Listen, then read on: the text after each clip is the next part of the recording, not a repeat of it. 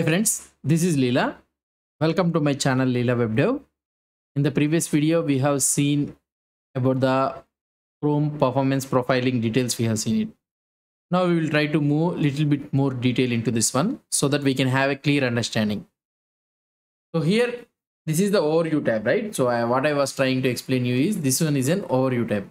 If you try to see here, this is an overview tab. Otherwise, I will close this one and I will I will execute it again so that we can have a clear view. If I click on this one, let it let it uh, do it. So at the top we have seen that it is an overview and the bottom we are able to see screenshots. Actually the screenshots is correctly it's not visible. Don't know why those are not coming. Let's close this one all. Let maybe yeah okay fine. Let's leave it.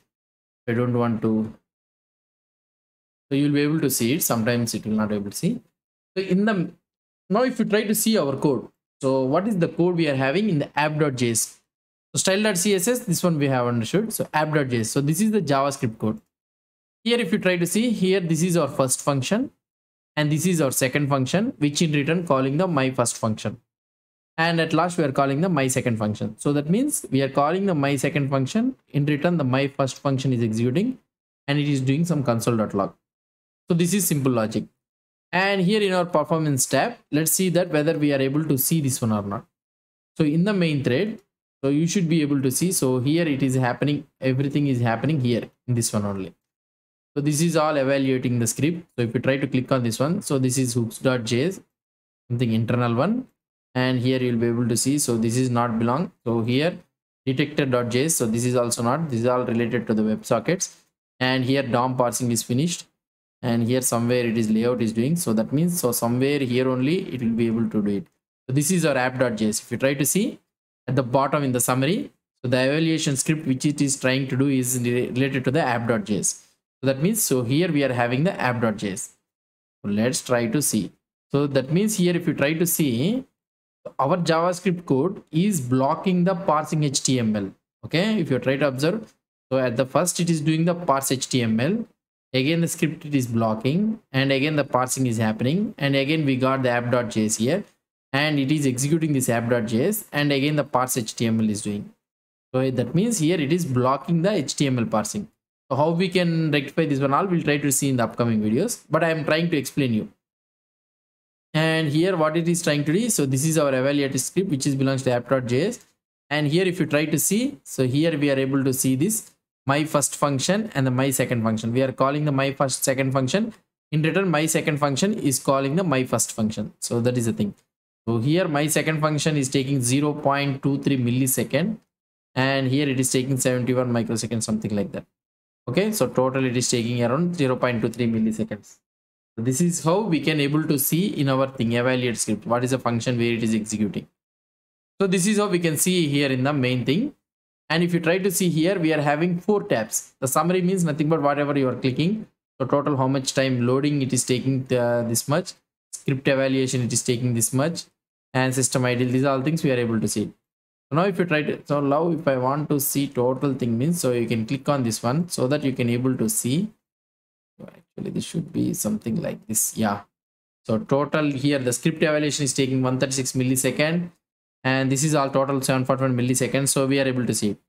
If you want to see more detail about this one we can click on the bottom up or otherwise uh, you can see bottom up. So how much time it is taking the each activity how much time it is taking.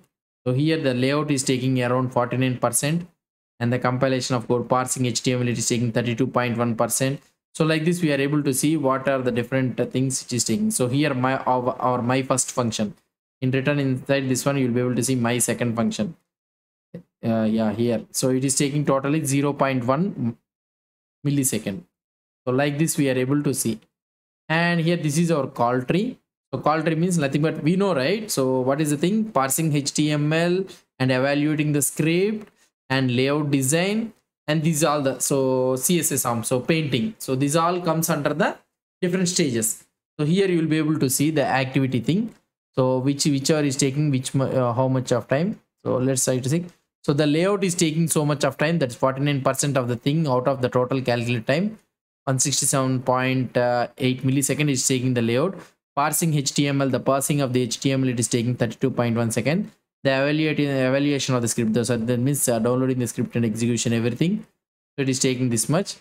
And here recalculating the, the CSSOM construction and all those things it is taking 6 milliseconds.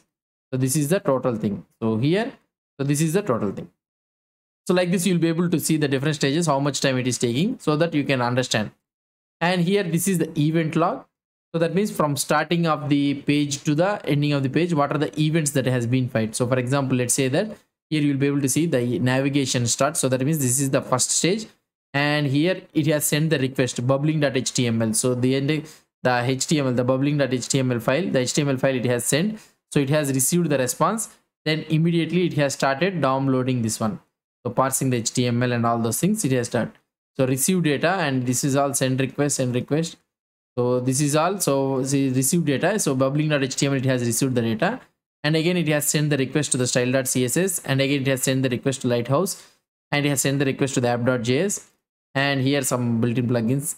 Finish loading receive response. And immediately so when the finished uh, loading is all completed so it has started parsing the html so like this. So each step by step step by step you will be able to see. And afterwards the DOM content loaded. You are able to see the DOM content loaded here.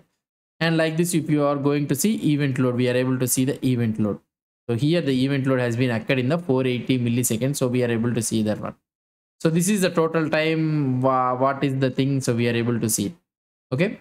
So these are the different types. So these are the different levels. So bottom up means so each activity how much time it has taken. So we are able to see it call tree means the activity. So overall activity we are able to see it. Self time means so the actual layout how much time it has taken uh, the it has directly this taken. Total time means including its children and all those things. So here you'll be able to see. Actual parse html took 31.6 including the children and all those things execution. It took 110 millisecond. Evaluation of the script also in the same thing. Event log is one of the important things. So whenever you want to see when this dom content loaded has been happened means okay it has been happened dom content event load 423.1 millisecond the DOM content load has been happened. If you want to see the event load means, so you can be able to see that event load also. So at the bottom, you'll be able to see this event load at 480.7 millisecond. So this one has been happened. So like this, we will be able to see the parse HTML also we can able to see when this parse parsing of HTML is complete. So here it has been started at 423 millisecond has been completed. So that is the reason dom content also is loaded in the 423 milliseconds 423.1 millisecond. So those all things we need to reduce it. So like this you will be having.